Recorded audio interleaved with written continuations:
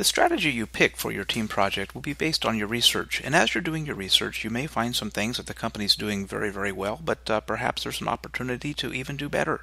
Or you may find a place or an area in which the company is not doing so well, and that might be an area to improve upon.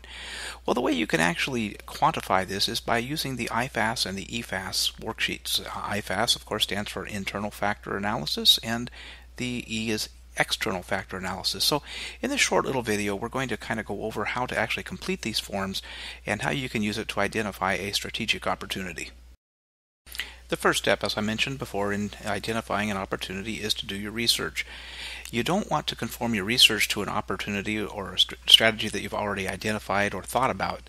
You want to find your strategy after you've done your research, and in the process of doing your research, an opportunity should just jump out at you. And if it doesn't jump out at you, well, that's why this IFAS and EFAS are useful because you can actually add numbers to the things you found and hopefully identify an opportunity uh, based on the numbers. All right, after you've done your research, the next step is to actually use the IFAS and EFAS forms to uh, help you quantify your an opportunity. And the next couple of slides, we're going to go over how you can actually use the template that I provided uh, on Blackboard for you.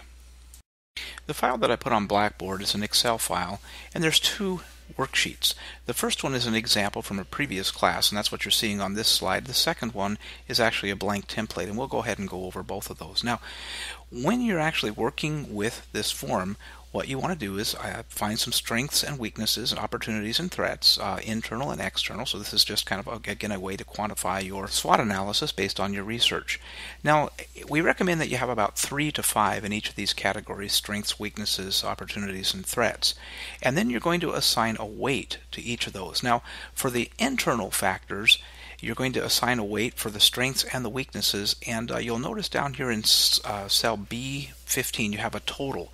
The total weights that you assign both to your strengths and your weaknesses needs to come out to 1 a total of 1 so 100% altogether.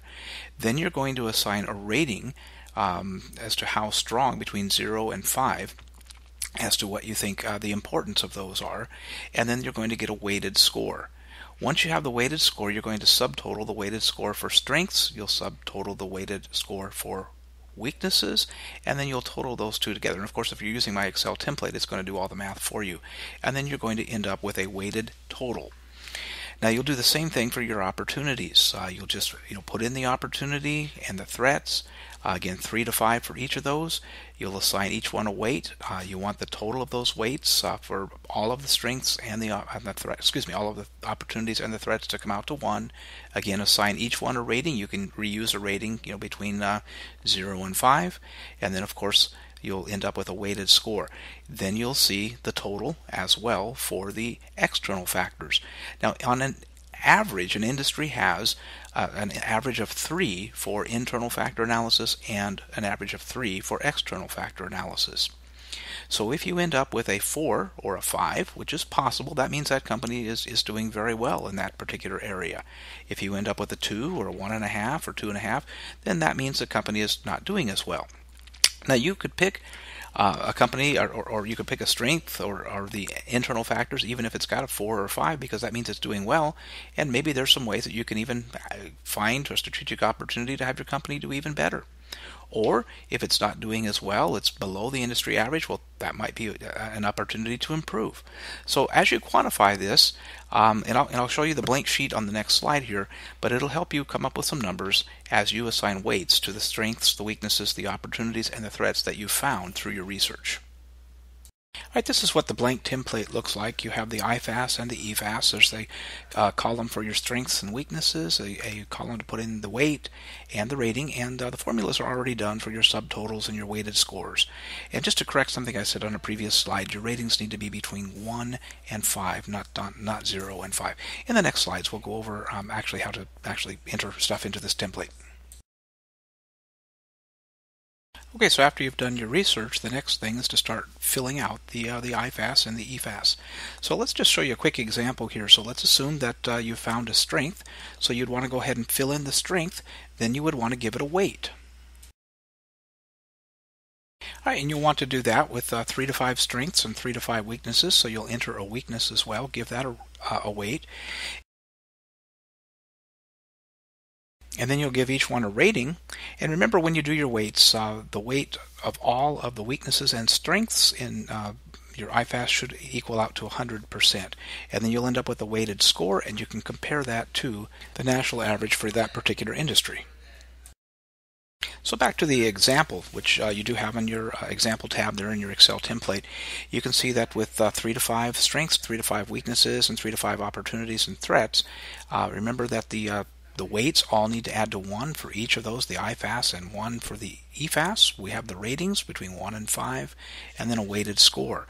Then we compare the total of the IFAS score and the, uh, the total of the EFAS score to the national average for the uh, other firms in that industry. And remember, the national average is going to be 3. So if it's above 3, uh, the company is doing well in those particular areas. If it's below 3, uh, it's not doing as well. And uh, either of those, though, you still might be able to identify an opportunity to improve.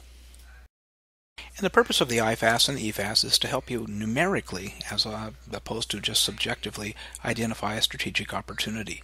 So use your numbers and kind of figure out, okay, here's an opportunity for us to improve.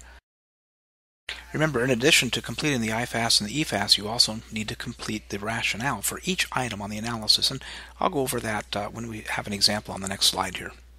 All right, to explain uh, your items on your uh, IFAS and your EFAS, you want to explain how you came up with the weighting and how you came up with the rating.